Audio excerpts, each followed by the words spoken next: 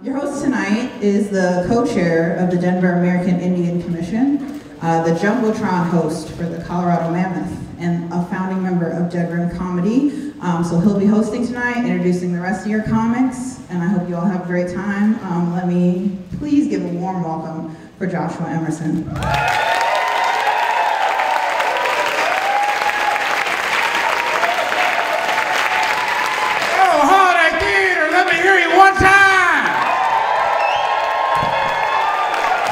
What I like. That's what I like. Hey, make some noise for the, the Museum of Contemporary Art, all right? Yeah. Tier two SPFD, but tier one in my heart. Oh, okay. Absolutely. I got that. That's cool. yeah, my name is Joshua. I'm Native American. Yeah, Colorado native without the bumper sticker. Okay. yeah, that, that's why I named the show that, because that dumbass bumper sticker. uh, yeah, I, this show, this show is built around native joy. Okay, growing up, the funniest people in my life, yeah, exactly, were, were, were natives. All right, they they're always cracking jokes. Uh, I- I'm Navajo. We have a ceremony for when a baby laughs for the first time. Okay, uh, and then you're not allowed ever to laugh ever again. Yeah. Uh, it's true. I still do it though, you know. uh, yeah, I also going back to the res. Uh, I, I would get my ass roasted all the fucking time. Tonight, I've been roasted three times for wearing cargo shorts, man. Fuck you. They look good. All right. I don't know what you're talking about. It's an aesthetic, okay. All right. I make urban native look good. All right. Shit. yeah, man. Natives are funny. That's just a true fact. And, and, and they're always the funniest to me. But when I decided to take comedy more seriously a- as a career and going through the club system, I looked around and there weren't any natives around. And that made me very sad. Uh, and, there's this idea that, that comedy is, is this beautiful art form where you're able to talk about gross, disgusting, important, uh, uh, uncomfortable things, and you're able to create this tension in the audience, and you're able to release it with the punchline. It's, it's a powerful art form because you're able to say true things on stage that make people uh, tighten their asshole up. and then you're able to say tighten your asshole up and people laugh you know uh and, and, I guess what I wanted to see, I want to see more native comics out there. I wanted to create it up. And thank you. Yeah, yeah. Create, create opportunities like this. Look how fucking big this stage is, man. I can't see any of you. That's how expensive these lights are. This is high dollar shit. uh, and so yeah, that's that's what this show is. It- it's it's an opportunity for, for to bring all all the uh, indigenous brothers and sisters and everywhere in between, all over Turtle Island to, to Colorado, have them showcase for y'all. Uh, create a little bit of culture, share it, a little bit of empathy. Uh, have natives see themselves on stage. If you want to do this, if you're a native youth in the audience or old person, but I don't know. I, I, I care more about the youth, you know. I know too many old, bitter natives. uh, yeah, yeah, some of you are here tonight. uh, I just want y'all to know that you can do this. You can do this. You can do this. It's true. Uh, don't. It's terrible, okay? But you can do this. All right. Yeah. And we got a great show for you tonight, man. Uh, honestly, uh, uh, we, uh, the comics are funny, and we're gonna have a great time. And with that, can, can we just get a little bit of energy in the room again, man? Just let me know you're with me.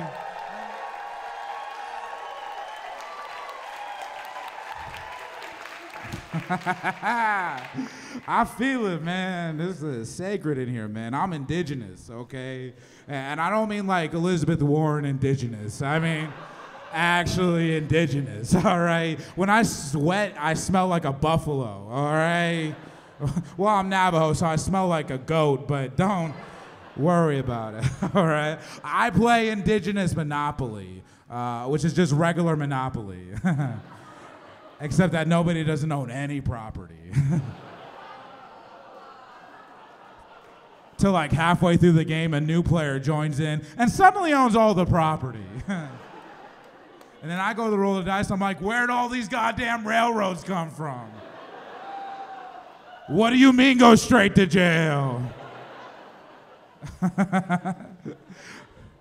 that if that joke made you feel uncomfortable, uh, Venmo me, bitch. What are we talking about?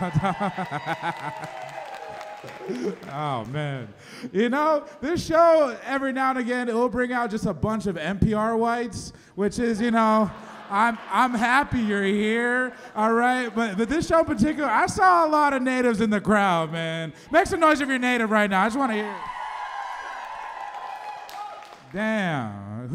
You all got off probation at the same time? uh, uh, see, see, I, am Navajo, all right? My mom's Navajo, that makes me Navajo, uh, except that my dad's white, and that makes me a Navabro. Uh, uh, but I'll let you in on a secret. I'm a little fucking slut, uh, and that makes me a Navajo again, okay? that joke still works if you're half white and Arapaho, so if there's any little plains bitches in the audience tonight, you know, feel free to use it, okay? Have fun riding horses and eating dogs and shit. I don't. Oh. you feel the anger rising, man? Just tomahawks start flying at me. I'm from Phoenix, Arizona. That's why. okay. uh, what, what, what? Just shout out your area code. I just want to know. you said 702? That's Denver, silly goose. 602, all right, 602 I fuck with, okay? If you said 480, I would kick you out right now, okay? Yeah, I'm doing Phoenix area code jokes in Denver. Cool. I'm a 623 guy myself, so hit me up if you want weed after the show, okay? I, I, am from Phoenix. Uh, that's why I sound so stupid. Uh, I, I grew up dehydrated. Best air conditioning in the fucking world, though, man. And that juxtaposition between 150 degrees on the outside and that cold Arctic blast as you walk inside. Ah, it's spiritual. I walked into Safeway, got hit with that Holy Ghost, just that. I forgave my dad. Powerful stuff, okay? Uh, I love being an ambassador for my people. Uh, this is true. There's this trend on Native social media. Uh, when natives graduate, they'll, they'll put their graduation photos up on Instagram with a caption that says, I am my ancestors' wildest dreams. Wildest. Bitch, calm down. you went to Arizona State, first of all, okay? Second of all, I've done cocaine off a Caucasian woman's titty. If anybody's our ancestors' wildest dreams, it's fucking me.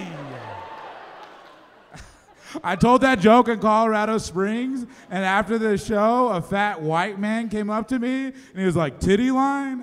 and I was like, Yeah, I'm gonna do a titty line. Yeah, bacon flavored Coke, you know? So. nah, man. Now, I am trying to learn my language, Diné bizaad, as it's known. This is true. There's no words in the Navajo language for the phrase, I'm sorry. Uh, who knew my ex girlfriend was Navajo? okay. this is also true. Uh, the Navajo word for butthole literally translates to the pink skin inside the hole. Uh, and that made me proud to be Navajo, okay? Because you don't find out that there's pink skin inside the hole without doing a little bit of digging, now do you? If you don't eat ass, you're a colonizer. And if you do eat ass, you're a colonizer. Absolutely. Yeah, my favorite part about eating ass uh, is the bacon bits at the very end, okay? Fuck you, let me be me. Ew. I served six years in the United States Marine Corps. Uh, it's actually where I learned how to eat ass. You know? uh, uh, actually, I joined for the marijuana discount. All right. 15% off for the rest of my life. I've saved northwards of $6 million. All right. Veterans are shameless about our discounts. I, I once watched my friend ask a, a, a, a prostitute if she had a military discount. God bless her, she did. I don't know. I like white women because I like making my ancestors cry. Uh, but I would never date a white girl named Dakota or Cheyenne. Because uh, I'm Navajo and I'm loyal, you know. Every time I hook up with a white girl, I like to steal a scrunchie from her house and wear it on my wrist like a scalp. I got a fucking scrunchie in my hair right now, y'all. I'll be selling scrunchies after the show. Okay? Yeah, I started wearing scrunchies after I saw uh, my uh, after I saw Jason Momoa wear a scrunchie. And, and for brown men with long hair, Jason Momoa is the fucking pinnacle. Okay? Yeah, yeah. Jason Momoa is what I would look like if I drank that potion in Shrek 2. I don't like how loud y'all laughed at that. yeah, no, I'm sexy as fuck. I know it. Hey guys, y'all ready to get a comedy show started? This first comic, he's a Denver local, but he hails from the Comanche Nation. Make some noise for Evan Johnson.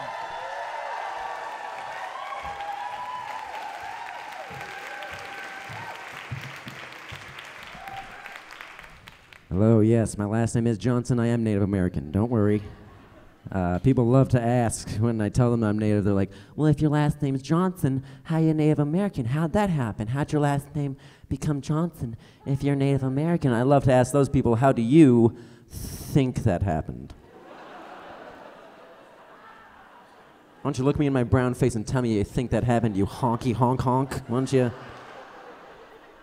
Can tell you, it wasn't definitely wasn't one of those consensual situations. All right, cool. The front row's no history. Awesome.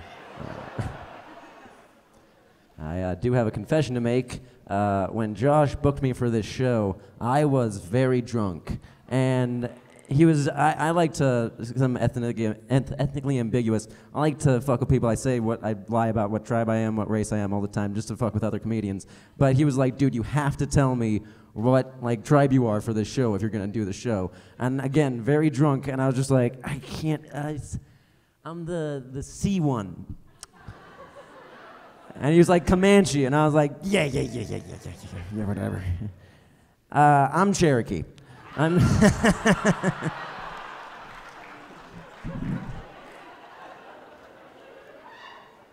yeah. So, cheers. Uh, Yeah, dude. I don't know. I get lots of silly questions about being Native American. Like my best friend, I remember years ago, he asked me, uh, like when the Redskins changed their name, that football team. He was like, "Are you glad that the Redskins changed their name? Like, was it offensive to you as a Native person that there was a football team called the Redskins? Was that offensive to you?" And I was like, "I'm much more offended by the fact that you've known me for like 10 years and think I give a fuck about sports." And as You guys have known me for 10 seconds. You can tell I don't give a fuck about sports. It's not what any of this says. Like, what? I don't know. Growing up, uh, uh, I'm, I'm native and also uh, uh half Spanish, uh, which means growing up, my mom was racist. Um, she. And the way I found that out was because like people would come up to her all the time, like asking what race she was. Like she's browner than me. Like her mustache way thicker, and people would come up to her like at her job like while she was working and they would ask what race she was like all like all the time. But specifically if people asked if she was mexican her response to that was fuck you get the fuck out of my store right now. I, I told you to leave now you're trespassing. I can call the cops. Get the fuck out of my store right now. By the way she didn't own a store. She just worked at office depot. She's kicking people out of office depot for asking if she's mexican. And to re- reiterate we're native american and spanish which mathematically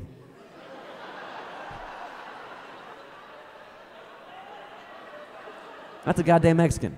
That's what goes into a Mexican. That's what that is. It's not only as my mom a dumb racist, she's a dumb racist Mexican. That's what she is. yeah, man. I uh I was getting shit on by uh, another comic recently, like another brown comic. They were being like, "Oh, you're a self-hating brown person. You have too many white friends. You have you have too many white friends. You're a self-hating brown person." I was like, first of all, yes, but that's depression. That has nothing to do with my race. I'm just I can be brown and depressed. That's just two things that are true. Yeah, okay, but but also I get to have white friends. I grew up here in Colorado, which I don't know if you know this, today at its most diverse is 86% white people. All right? That's with as many browns as we've ever had. That's that's a lot of white people. Not only that, I grew up here in Colorado in a town called Highlands Ranch. Colorado.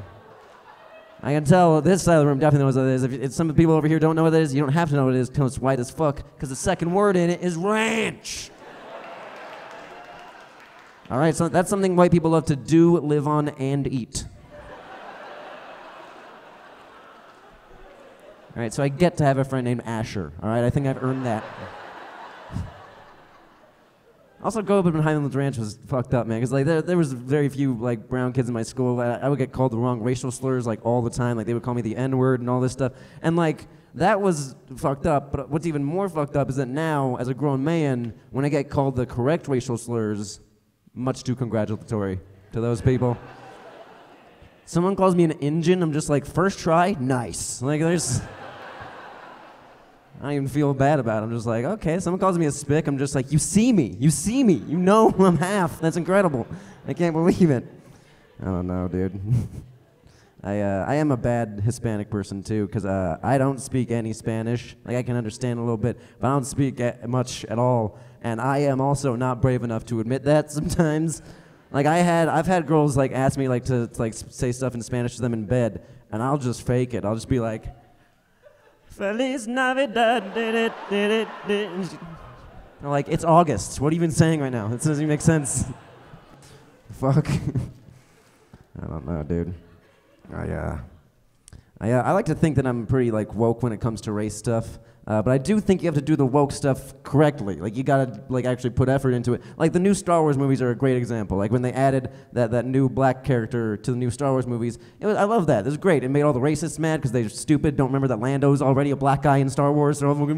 No black guy. What's Atlanta's already thing? But then they just ruined that guy's character throughout those three movies. Johnny Boyega's character just got worse and worse throughout those three movies, and that's insulting to a little brown kid watching those movies. Like I love Star Wars as a kid, and I didn't need Han Solo to be Hispanic for me to like those movies when I was a little kid. I just either imagined he's brown in the movies or I'm white when I play him. That's just. And also, Han Solo deals drugs throughout the galaxy. He drives around in a shitbox car, and his best friend's name is Chewie. Sounds pretty Hispanic to me. Sounds like my uncle and his best friend Chewy. Is what that sounds like. Uh, I don't know, man. Speaking of Chewy, and this is a true story. Uh, I worked. I used to work at a very fancy restaurant uh, called the Melting Pot. I don't know if you guys have ever been in there. I they fucking hated me. They did, I was not a good fit for that place. Just swearing and being an idiot all the time. They didn't. And like the, like there was one time I remember uh, there was a gentleman there who worked as a bartender, and he looked exactly like Peter Mayhew, who, if you don't know, is the guy who played Chewbacca in all the Star Wars movies. A big tall dude inside the Wookiee suit, and he he like looked identical to him. So I told him one day I was like, "Hey man, I, you look just like Peter Mayhew. And he's like, I don't know who that is. And I'm like, that's crazy. No one's ever told you. He's the guy who played Chewbacca in all the Star Wars movies. I swear to God, you could be his twin. It's crazy. No one's ever said that to you. And this grown 50 year old man, I swear to God, looked me in the face and goes, fuck you, dude. Which made me realize that this guy thinks that the guy who played Chewbacca fucking looks like Chewbacca. Thinks George Lucas is walking around in the 70s on Hollywood just being like, I can't find a bear dog man hybrid. I don't know I'm going. Oh my God, there he is. And he was like, and the rest was space history? What the fuck is he thinking? Yeah, they hated me at that job, man. They, I remember I, this this this story happened actually like a week before I got fired, so I'm like pretty sure it's why I got fired. Uh, they were playing that game, uh, Fuck Mary Kill. Like we all play that game, you know that game. We all play it at work. It's then it's like the point of it is to like make it like kind of embarrassing. Like we all know the person you want to fuck and the person you want to marry and the person you want to kill amongst our friend group. Now imagine, I guess I didn't understand the rules at the time and I got flustered. And uh, now imagine everyone at work knows the one person you want to do all three of those things to. Because that's what happened to me. They're like, Evan, who do you want to fuck, marry, and kill? And I was like, Jacob.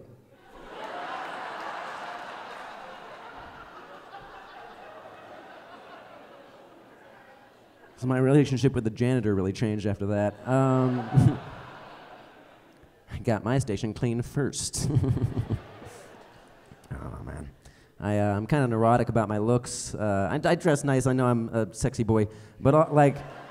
But also, like, I get, you know, I, I'll get insulted a lot, like, on accident, even. Like, a guy, like, I thought this guy, I was about to, this happened to me on uh, South Broadway. I was walking down, and this guy came up to me, and he goes, Bro, you look like that guy from The Mandalorian. And instead of assuming he meant, like, Pedro Pascal, The Mandalorian, very popular actor, Last of Us, Game of Thrones, other things, I was fully ready to fight this dude because I thought he meant Baby Yoda. I was. I was like, he has a name, it's Grogu, bitch. Like, I was ready to go after him. Yeah, dude. I'm, I'm, sh- I don't know. I'm short too, and you get accidentally roasted for that. Like I remember once I was with my grandparents, and I was wearing like this trench coat thing. Like it was a trench coat. I was wearing a trench coat, and my grandfather, my grandfather, he goes, "Is that a, is that a trench coat? Is that look at that that kind of jacket would be called? Would you consider that a trench coat? I'm not a fashion guy. Is that a trench coat?" And before I can say yes, my grandmother just hits him, and she goes, "No, Lee, that's a regular sized jacket. It just looks big on him." Fuck you, Grandma. What the hell? Glad you got COVID. Uh, it's fine. She's dead. Uh, oh no, dude. I get yeah the accidental insult. I also like I'll get insulted like this. This has been happening to me recently. Is that like uh, after I'll, like the last like three women I've like hooked up with uh, afterwards they'll look at me. I swear to God, they'll just be like, "Man, bisexual guys really lay down the best dick." I am not bisexual.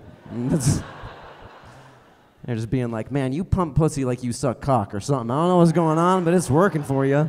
like, feels like I'm betraying you if I tell you I'm not. You know what I'm saying? Like, uh, I don't know. I get confused. I mean, honestly, like that's better than what I mostly get when I'm like trying to hit on women because I get confused for a gay man like every time I try to hit on a girl. Like every like it's gotten aggra- like it's gotten to a bad point. Like I genuinely feel at this point like I can look a woman in her face and be like, "I want to eat your pussy," and her response would just be like, "Gay guys eat pussy now? That's so."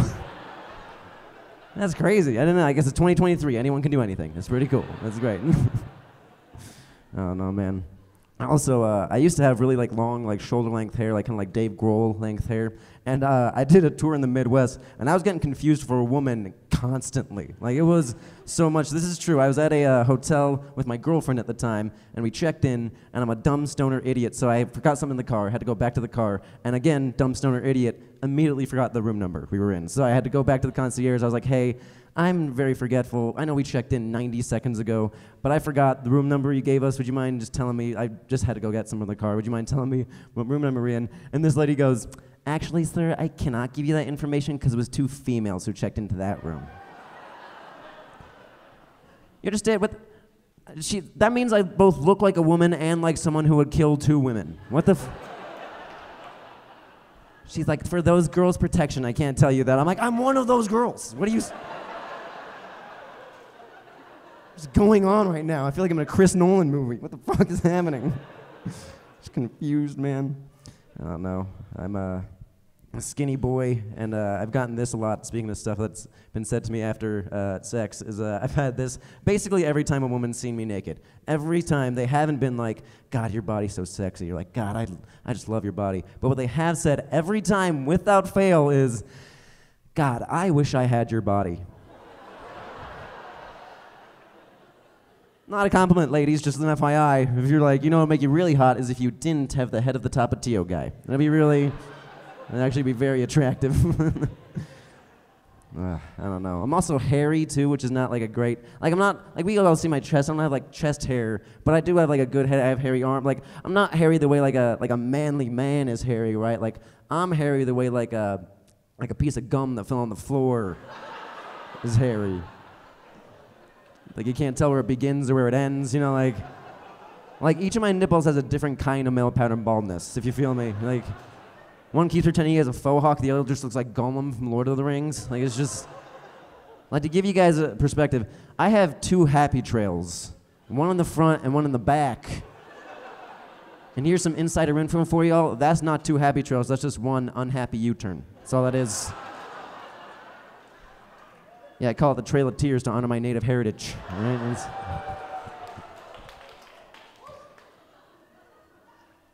Oh, I knew that was going to kill here. Uh, oh, no, I'll, uh, I'll get off with this quick little story uh, that has basically nothing to do with the rest of my material, but I like telling it. Um, I'm going to age myself here because uh, uh, when I was in kindergarten, 9 11 happened.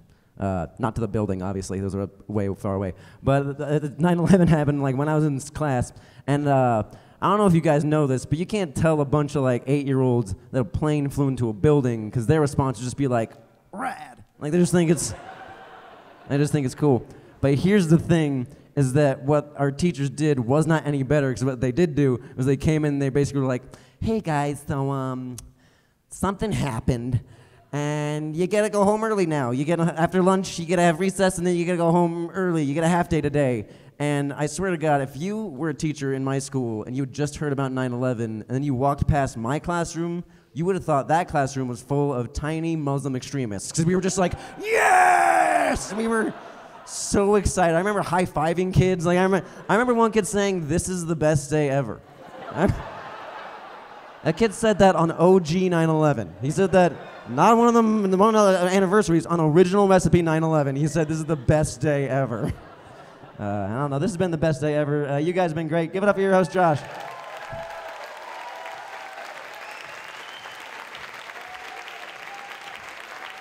Give it up for Evan Johnson, everybody. Actually, don't give it up for Evan Johnson. I am livid. I, the fact that he's not Comanche, fuck him. I thought that's why he had the mustache. Cherokee? Cherokee is the most basic tribe. Cherokee is the Diet Coke of Native American tribes. Everybody boo Evan Johnson right now. I'm just kidding. Make some noise for him. right?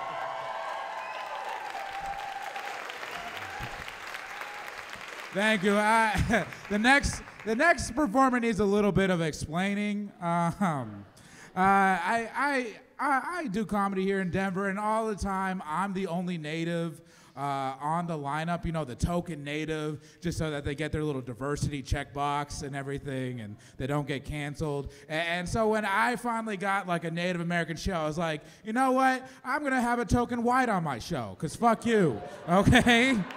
Uh, but what I went out and did, I went out and got out the best Caucasian, all right? Uh, winner of the Fort's Funniest 2023, okay? He, he's a founding member of Dead Room Comedy. He, he, he's like an 8 out of 10 on the attractiveness scale. Give it up for Elliot Weber, everybody!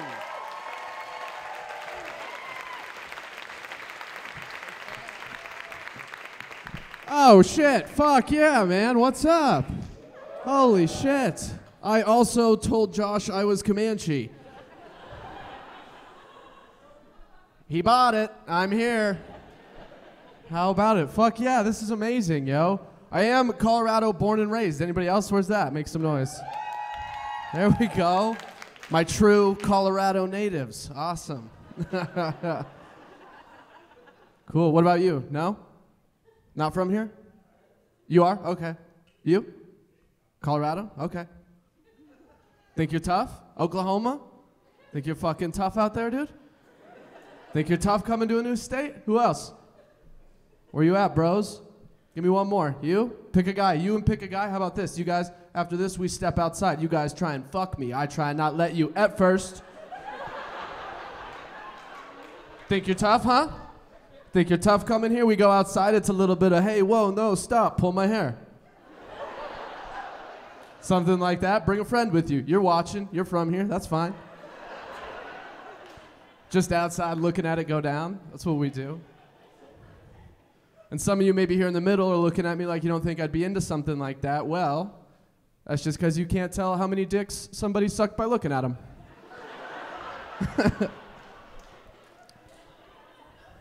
and by the way, it would change things if you could.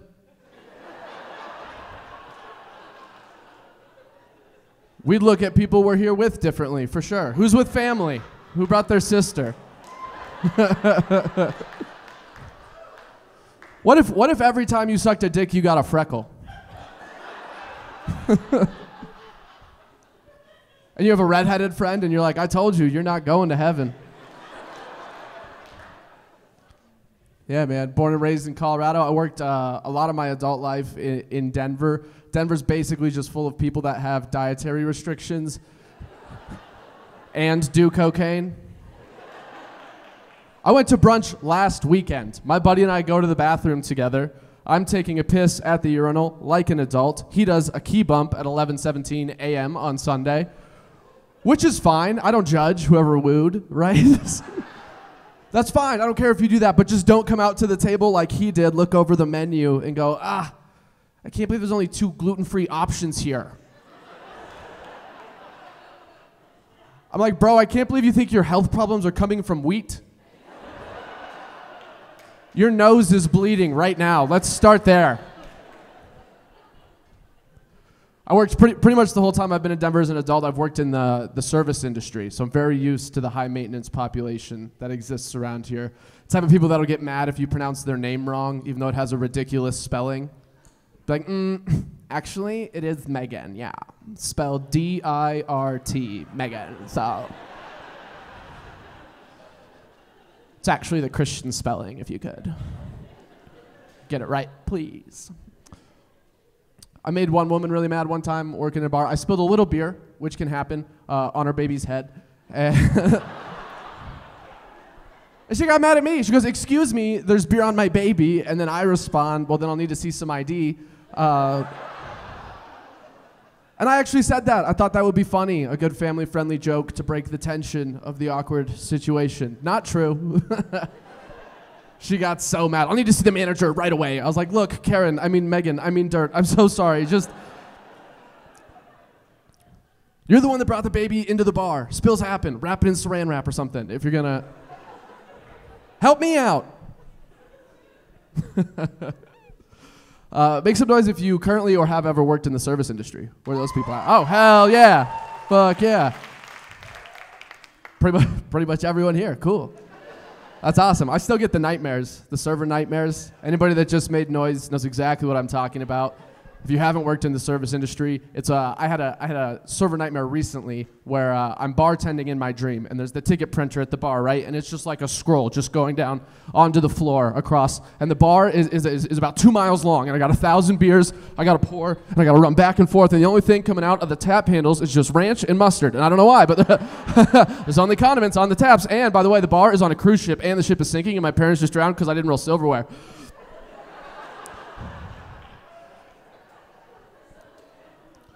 So that's an example of a server nightmare.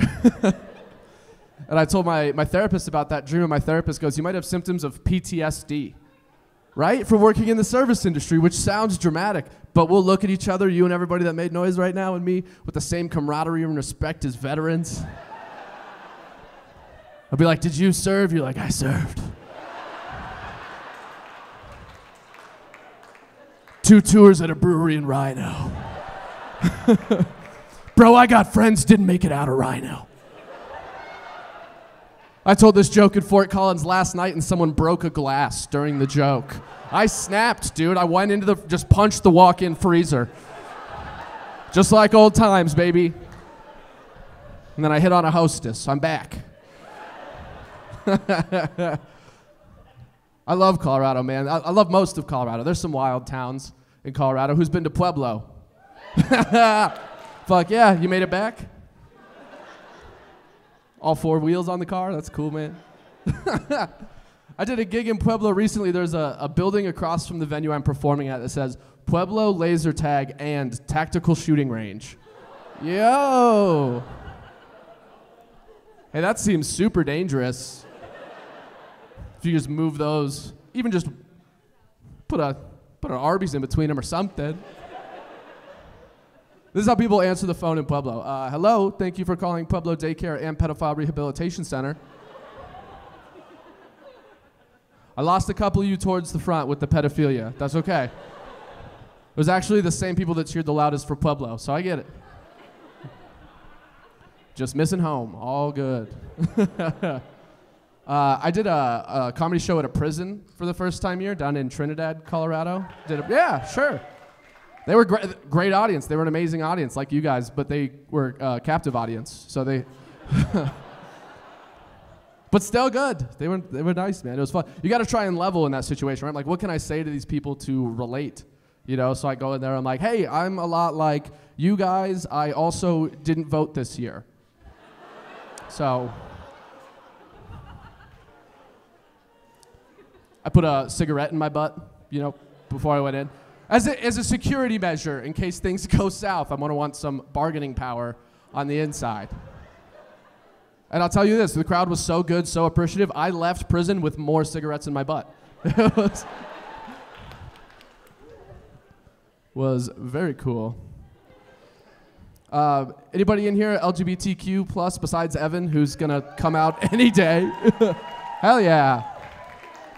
I figured. I was if, if Evan didn't do the Comanche thing, I was gonna walk up here and be like, "Hey, it's me, Gay Evan." Um,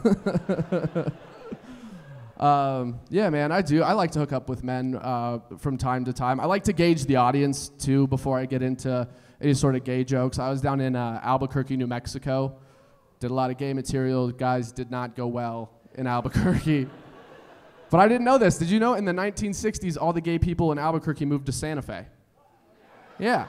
So it's not well talked about, not well documented. It's called the uh, Trail of Queers, I believe. Uh, there's my native joke. Josh said I could say that one. I think everybody's like at least bi now here in Denver, right? It used to be cool. It used to be unique thing. At this point now, my friends are like, we get it. You suck dicks. We're also Democrats. Relax. Who are you trying to impress? Bi dudes are like Tesla cars. In 2008, it was pretty cool if you saw one, but at this point, just seems pretentious. and I have one plugged into my garage. Charging them for tonight. Uh, so I, I didn't identify as queer as a kid, obviously, and then at some point in college, I started hooking up with men. I had to start telling people that's what was going on. Uh, there were certain people in my life that something thought something happened to me that turned me gay, which is absurd. That's obviously not how it works, but I love to pretend that's how it works. so I was at the gym the other day, obviously, um, and. Uh, I'm in the locker room. I've got headphones in. I'm naked. There's a guy behind me, headphones in. He's naked. We don't know we're next to each other. We both bend over at the same time and we touch butt to butt. It's awkward. We both jump up. We're looking at each other and I'm like, oh, man, you're gay. yep. Ha, gotcha. you're gay now. Um, and he got upset with me. And I was like, hey, man, I don't make the rules, but you should call your dad. Uh, And then I realize he's with his son, and I'm like, oh shit, I am so sorry. I, at least I didn't spill it on your baby. Wrap it in saran wrap if you don't want that to happen. Keep everybody safe. I like to mess with straight dudes. I, you know, I got a lot of friends that look like me but aren't gay, and they suck, you know? um, and it's fun to mess with straight bros. The best time to do it, by the way, is Halloween because you can go to any any party, any bar, you go up to any guy and just put gay in front of whatever the costume is. You got to try it. It's so fun. just walk up to someone and be like, "Oh wow, gay Shrek, cool." They're immediately self-conscious, walking around the rest of the night like, "Man, what about my Shrek is gay?" And that's best case. Some people get mad, but you just got to keep going and try guessing too. You got to be like, oh, don't tell me. No, no, no, no, no. Okay, gay Buzz Lightyear, Buzz Light queer. Nice. That's good. That's good. I like that. And then maybe that's a person that gets mad about it. They're like, oh, fucking no, dude. Just actually straight, white, fuck it, Christian, Buzz Lightyear. So, uh, just Buzz Lightyear, but in God's eyes. So, that's my costume. And that's fine too. You just move on. You're like, hey, if you need Woody, I'll be at the bar. Uh, there was uh, one person who was hard for me to come out to. Is uh, my best friend from high school. Very religious, strongly, uh, strongly Christian. And I have to tell him I've been hooking up with men. I don't know how he's gonna handle the news, uh, but he takes it pretty well. He gives me a flyer to his church uh, that says, "You can't climb your way to heaven with a handful of penis." Um, which is hurtful, but also true. If you've ever tried to climb a ladder with something in your hand, very tough to do. Pro tip put it in your mouth. Uh,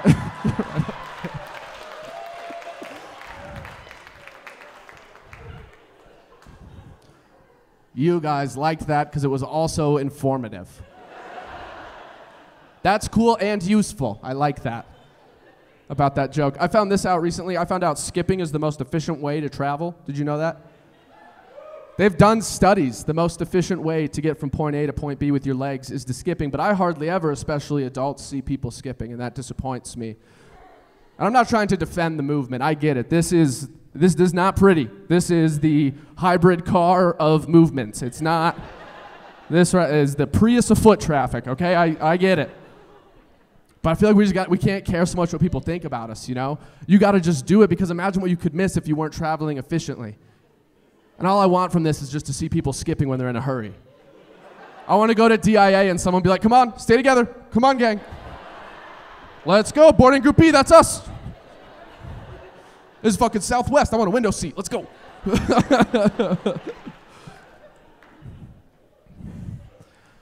I think that's the main thing, man. I, I care too much. It's what, it's what I'm working on. I think it's something we could all work on a little bit.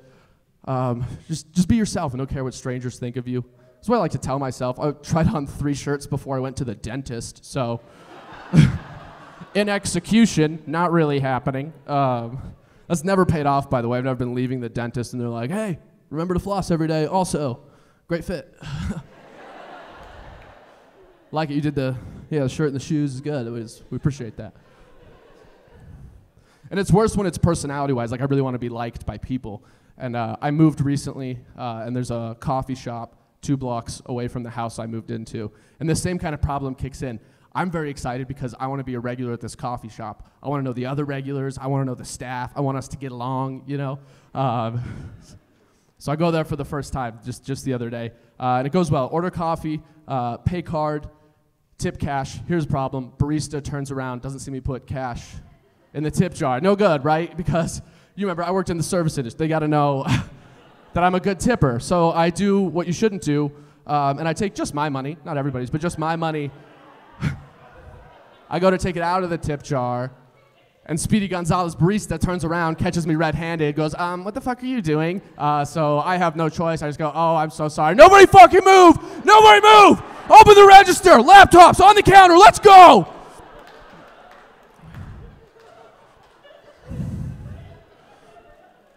And I robbed that place just to make sure that everybody likes me. But then I remember my advice, what I tell you and what we should do, and I'm like, I should stop. I should just not care what people think about me. So I took the laptops and I took the register drawer and I just skipped home, baby. Thank you guys so much. My name's Elliot. This has been amazing. Keep it going for the lovely Joshua Emerson.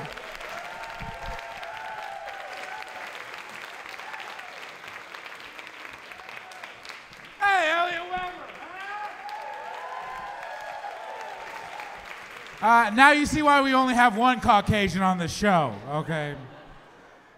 uh, yeah, ladies and gents, and everybody in between, uh, we've reached your headliner for the evening. Yes.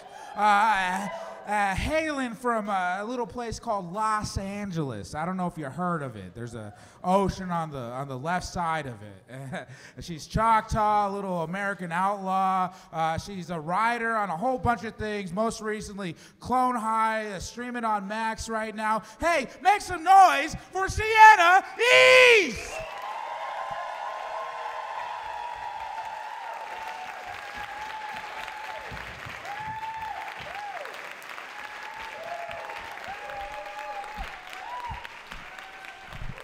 I give up. A little too tall for me, but it's fine. It's fine. We're all good. We're having a good time. Hi, Denver! Woo! It's so great to be out here in Denver, Denver, Colorado. Really great to be out here in Denver. Uh, it turns out if you drive for an hour in Denver, you end up at a different place. Last night we were in Fort Collins. I went on stage and was like, Great to be here, Denver. Love you guys, Denver. Eventually, some guy was like, This is Fort Collins. but it's weird. It's weird to live in a place where you can drive for an hour and be somewhere else. Like in Los Angeles, you drive for an hour and like you're almost at the dentist. so weird. Very exciting to be on a native comedy night. I love anything where a bunch of natives are here. A bunch of natives are here tonight. I love it. I'm so ex- yes. Oh. Love whenever there's a lot of natives because it makes, for me at least, uh, being native be normal. Because like in LA, not a whole lot of natives, right? And so when you tell someone you're native, they're like, oh my God, really? A Native American? That's crazy. I don't think it's that crazy because, like, I've been native my whole life. I wake up every day, I'm native. I think it'd be so crazy to live your whole life, like, tall or with a penis. Sometimes I imagine my life tall and with a penis. But it's not the life. I love the life I have. I love being short. I love being native. But I hate, I hate when people ask you, like, what part native are you? Like it's their business. I finally started to answer that for them though. I'm like, you know, the hair, the face, that's native, but like the boob part, the butt part, that's white. I do have white girl tits. It's really tragic.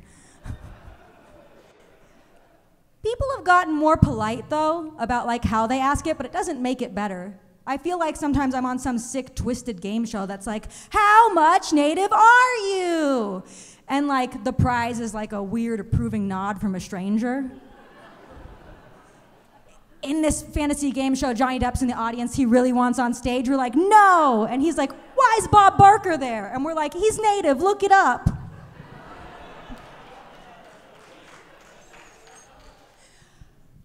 But at a native comedy night with one token white comedian, uh, I'd be remiss if I didn't do a little bit of Thanksgiving material. Uh, Woo! But not cranberries, not turkey. It's bitchin' and it's moanin'. Because I have issues. Thanksgiving has changed a lot, like the perceptions around it, like in the past 10 years. It's crazy how quickly things have changed. Like 10 years ago, people were still putting on that propaganda Thanksgiving play. You know, the play, you're sitting on the floor in a classroom, a kindergartner walks out, Thank, thank you, Squanto. The Indians are our friends now. Like, you know the play, you've seen it. Doesn't really exist anymore. And I'm not saying it's bad that things have changed so quickly, but like, sometimes when things change quickly, it gets a little bit messy. Like, if I'm driving the wrong way in my car and I have to take a hard turn to go the right way, spill all my car trash I'm, that was a friendly laugh. I'm glad you all have car trash too. I was so worried I'd get up here and say it. My mom would be like, Why did you tell them? but Thanksgiving, I noticed the change when I was in college, the way people saw it. And what would happen was, I never went home for Thanksgiving. I stayed on campus. It's expensive, it's a stupid holiday. And so on Thanksgiving Day, I'm walking across campus and I see a girl from class. She sees me. She beelines over to me. And she goes, Siena, Happy Thanksgiving. I go, What did you say to me? Because, like, I had never heard this before. And she goes, Thanks taking. She's really excited to educate me. It's like a rebrand of Thanksgiving. It's like, Thanks, we took your land and your food and your. And she stops. And she realizes who she's saying this to. The cogs in her brain start to turn she panics. I'm not celebrating it. We're not celebrating. It's an acknowledgement. I mean, I mean, we have to know our history. I mean, come on. I mean, th- that's that's a responsibility of us. And I feel really bad cuz like that's not how she thought this was going to go down. She thought we're gonna get in her shoes. She's walking across campus when she sees me, the only Native American person she's ever known. Beelines over to me, and she was gonna go, Siena, happy thanks taking. And I was supposed to go, Whoa, woke points. And we high five, double high five. I would go, thanks for acknowledging, acknowledging, acknowledging the violence and genocide of my people today. And she would go, it's the least I can do.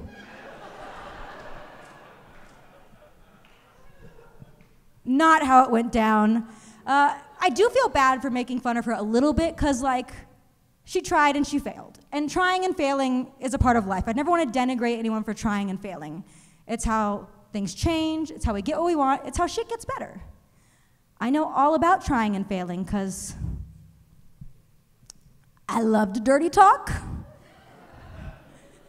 Dirty talking is all about trying and failing.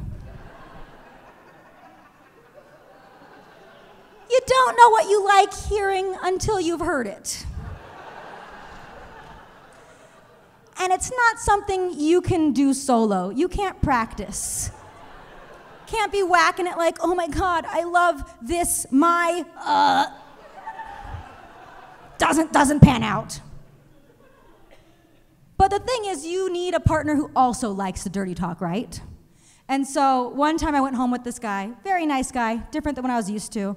And we get to his apartment, he lights all these candles, he turns off the lights, and he starts playing music. And I go, Why'd you do that? And he says, I don't like to have sex in silence. And I go, Sex in silence? There's no silence during sex. There's the sounds of sex and me talking. I told this story to my sister, and she said, Ugh, I would hate to have sex with you.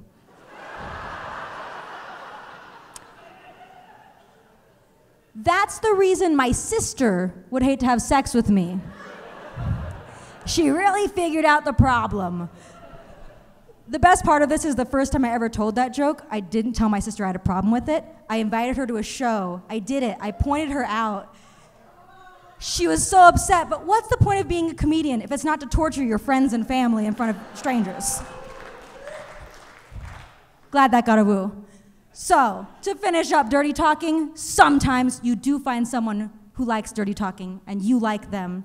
And this guy and I, one time, we really hit it off, you know? We're having a good time. We go home together. We're making out. We're in sync. We're talking. We're chatting. Super in sync, you know, like Timberlake and Fatone. I'm kidding. Uh, I did have a goatee at the time. Once again, kidding. But we're having a really good time. And at one point, I'm on top. I guess I wanted you to know that because I wanted you to know what kind of girl I am. I'm on top, and you know, we're going at it, and he goes, Oh, yeah, you like that, you slut. And I stopped because uh, I did not like that. The room got real tense, it got real quiet. We're just sitting there. He's looking at me, and he knows he's done something wrong, but he's not quite sure what. He's trying to figure it out, and he looks me in the eyes, and he goes, Whore?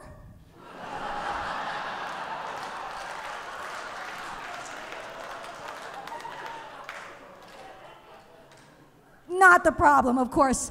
Uh, but we did end up talking about it. We did end up trying, failing, and fixing it. And the thing is, we had a wonderful relationship for like years after that with great sex. We just only had sex using proper nouns. so it'd be like, you know, we're having sex, and I, am him now. This is I, that. Now I want you this picture, um, you know, and I'm fucking me or whatever, and. It's like, oh yeah, you like that, Siena DiGiulio East.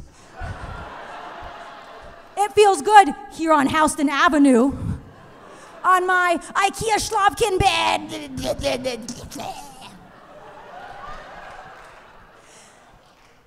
That's not the sound he makes when he comes. I mean, when he came. I mean, we broke up. I mean, I'm sure he's still coming just like with, I know it's with other people. I've seen the girl, and I, that's fine. I mean, I'm fine. Their anniversary is not coming up, her birthday isn't on our anniversary. It's fine. I'm fine. It's good. This wasn't two days ago. I'm not super mature. I am 30, though, if that's surprising to anyone. Uh, thank you for the woos, 30, proud of it. Uh, I do look young for my age. The problem with looking young for your age, you think, would be that sometimes when you go on a date, the waiter brings you a kids menu. But it's not. The problem is telling jokes about looking young for your age in Los Angeles. Don't do it. People are so sensitive. I told a couple jokes about one time, and a lady came up to me after a show, and she was like, I hope you look like shit when you're 40. It's like, I'll never talk about this again. Um, I am 30, I am kind of immature. I'm realizing that there's things I thought I grew out of that I didn't. Like, you know, when you're a kid and you didn't get invited to an event you wouldn't have enjoyed, but you're upset about it anyway? Like, okay, the logic sounds messy, but when I was in middle school, this girl was having a birthday party and she invited all her friends and all my friends, but she didn't invite me. And I was really sad about it. And it was gonna be a boy girl dance party and there was going to be grinding and slow dancing. Two activities I was not interested in. Um, I was more of like a Harry Potter fanfic tween, so I was horny but in private. So she doesn't invite me, and all my friends go, and I'm like really upset. I feel super left out. And apparently, I still have that issue because I wouldn't have enjoyed the party, but I wanted to go. Fast forward to the future, past Miley Cyrus being Hannah Montana, past Miley Cyrus hating being Hannah Montana, back to Miley Cyrus singing Hannah Montana songs on Disney Plus. If you're not following like your timelines according to Miley Cyrus's, like I'm sorry, sucks to suck. Uh, remember, I'm young. Fast forward today, I'm 30. And my best friend, I'll, t- I'll give you the picture of her real fast. You know who to picture. My best friend is an angel. She is a gift from God. She is the sweetest, nicest person. And sometimes when we're drunk, I'll be like, oh my God, I love you, bitch. And one time she started crying and she goes, why do you always call me bitch? Why can't you call me friend? This is my best friend. I love her. And the problem is, and this is gonna sound, you know, I don't know how it's gonna sound she keeps getting invited to orgies. And it's just like, I, I also would like to be invited to the orgy. If my best friend's going, if she's going, why can't I would I also would like to go to the orgy. Thank you very much if my best friend is also going. They know me, they could invite me. The problem with that is I don't think I would like the activities at an orgy. There are three reasons I really think I wouldn't like it. The first one, and I've said a lot of shit on stage so far, but this one feels the most intimate to me. I really get off to power dynamics. And so if there are 10 people in a room, it's like, who's in charge? Is it me? Am I in charge? Problem number one. Problem number two is it would be really hard for me to tell if everyone at the orgy has washed their hands.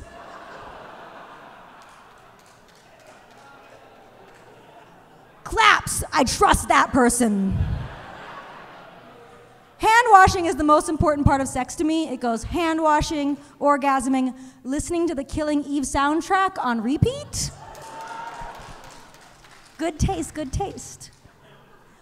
The third problem with me at an orgy is when I'm in a group of people and one person's telling a story and people stop listening, I feel compelled, no, determined, to listen to the whole story.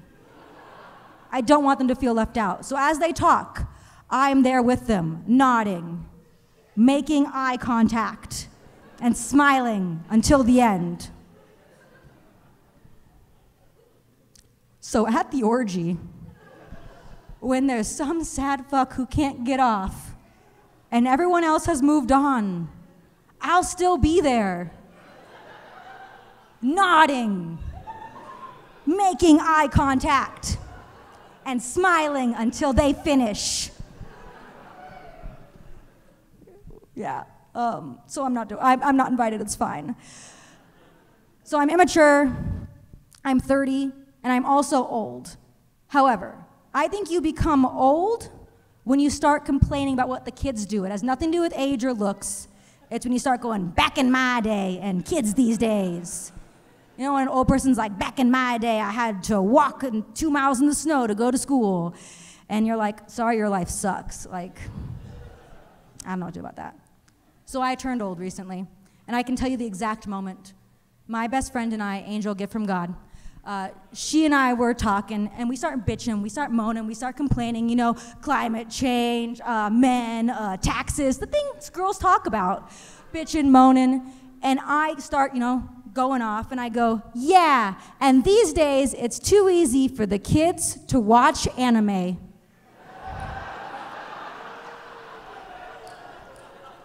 You're laughing, but it is. It's so easy. It's so it's absolutely it's absolutely not fair. Kids just go on Netflix, pull up any anime they want. When I was a kid, I had to work for anime. When I was a kid, I was judged for anime. I earned my anime. You guys know the struggle, and I can tell. You're going on the family computer because there's no laptops, there's no privacy. You're on Google finding websites, you go on kissanime.net. You're dodging ads for Russian singles like it's the Matrix. I'm 11. You finally find your episode and you think, oh my God, great. So you sit down to watch it, and that's when your grandma comes in. She doesn't know about anime, she does know about hentai.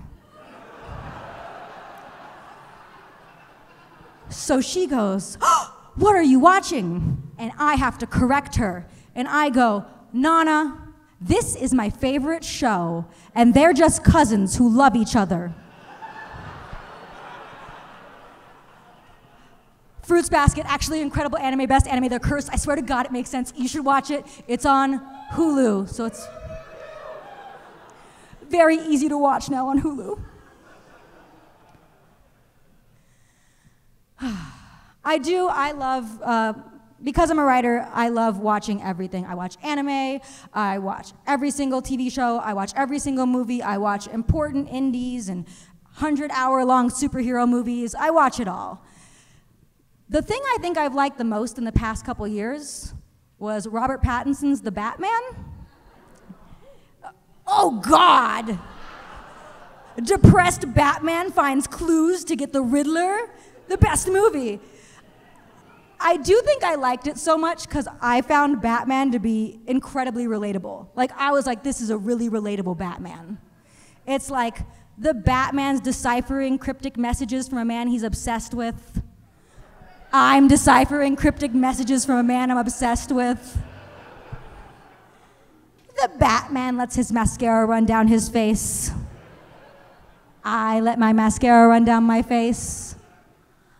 The Batman is struggling with mental illness.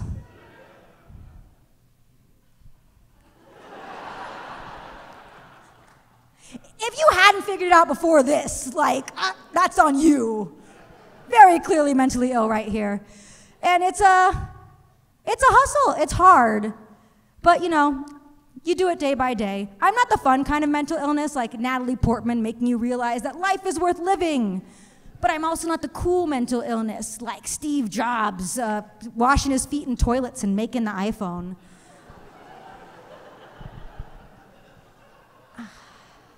I'm the kind of mental ill where you're like, haha, what?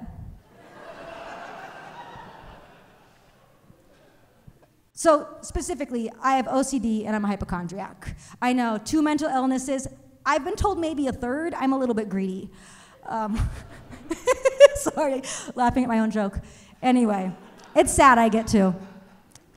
I'm really afraid of getting like sick. It is like something that I get really fixated on. It puts me in a panic. I can't think straight. I can't see straight. If I think I've gotten sick, I start to like lose it a little bit. And so there was a point in time where I was constantly checking my lymph nodes. I was constantly looking at the back of my throat. I would go to urgent care so regularly that the doctor pulled me aside and was like, "Hey, Siena, we love to see you, but uh, maybe you should talk to someone." And I've never been broken up with by a doctor before. So that was kind of hard. My mom, though, she thought she had a solution at one point because, like, uh, I was kind of freaking out. She was like, if you ever think you got germs in your throat, you know, take a shot of alcohol. It cleans out the whole throat. I'd like to clarify my white mom said this. My native dad did not say that. So um, this became my comfort. Take a shot of alcohol whenever I think I've got an illness in my throat. The problem was, uh, you can't do that everywhere. I was an office PA at this point in time, like at the height of kind of like not knowing I was crazy. And an office PA is like the person who like gets files and picks up coffees for set, uh, TV shows, movies. Sometimes an actor loses their car. You look for their car for two days. that really happened. So we had an AD, an assistant director, and he came in and he was sick. And he was like, he's coughing. I don't even want to fake cough. That's how actual afraid I am of this. Um, so he's coughing everywhere, and I start to panic. But I can't take a shot because, like, I'm at work. And I'm not like a white man in the 50s. I'm trying to see a, white guy in the audience. I want to confirm that that was just in the 50s. And you guys aren't still secretly doing this. If anyone wants to tell me after the show, I'm really good at keeping secrets. So I'm freaking out. I'm at work, and I go to run errands, and I see the solution. The solution is a bottle of mouthwash. And I'm like, great. I read in Stephen King's memoir that he drank mouthwash. I'll just drink this mouthwash. the disappointment in your voices. I buy this mouthwash. I'm super excited. I get outside the store. I rip it open. I go to chug it, and I start choking. And I spit up everywhere. I'm in this parking lot right outside the store, and I can't breathe, and I'm like dying. Because apparently, they put something in mouthwash that keeps you from drinking it, that makes you spit it up. And Stephen King did not tell me that. As a native, this is actually my biggest issue with Stephen King. So after I spit it all up, I look up and I see the sweetest old lady in front of me. And because when you're panicked and you're manic, you can't tell what's going on, I realize she's probably been there the whole time. I have no idea what to say. So I say, I'm sorry, and I get in my car and I drive away as fast as I can. And I always wonder, like, does she think I'm dead?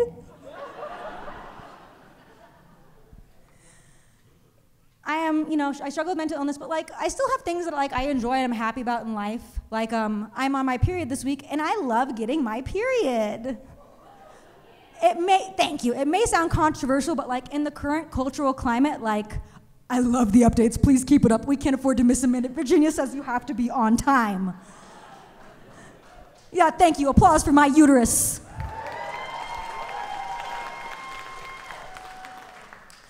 However, as I've just really talked up periods, what I don't like is the end of my period. And if you have a uterus, you get this. If you don't have a uterus, I'll explain. Periods don't have like a clear end date. You'll have like three to five days of flow, and then it's just like you're ambushed by period. You're walking around, it's just like,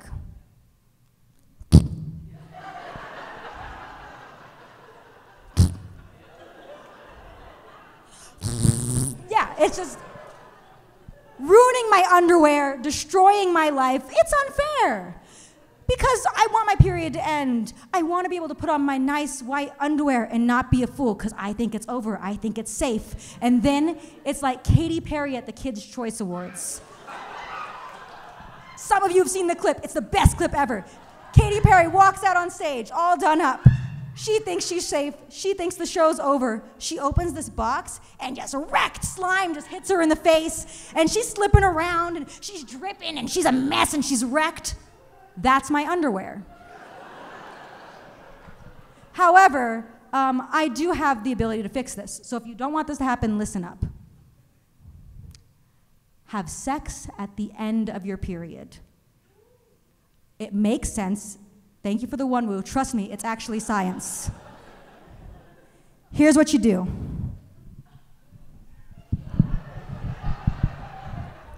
Picture it like this.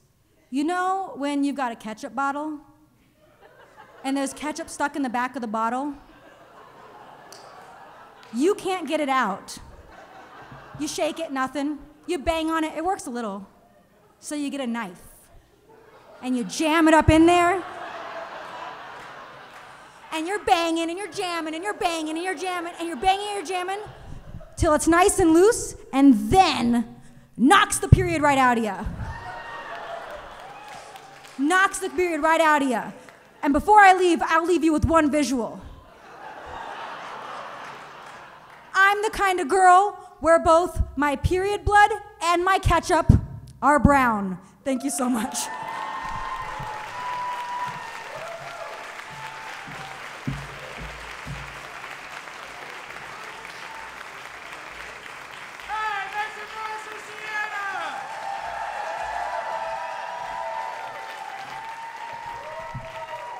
I didn't know period blood could be brown, you know?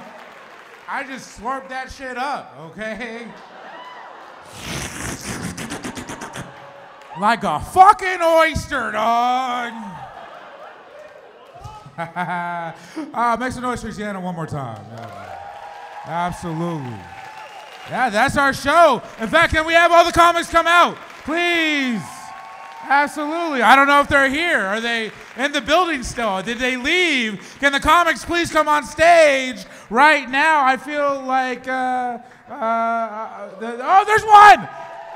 There's two, there's three. That's all of them. Hey, everybody, thank you so much for coming out. It Means a lot to me. Good job, all the comics tonight. Thank you. That's our show. Bye bye.